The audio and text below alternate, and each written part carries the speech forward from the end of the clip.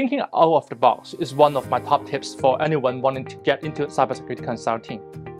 Even if two clients want to do the same assessment, their IT environment, user requirements, and management expectation are left the same. Listening to and understanding their point of view and tailoring a solution is really what we set you apart as a cybersecurity consultant.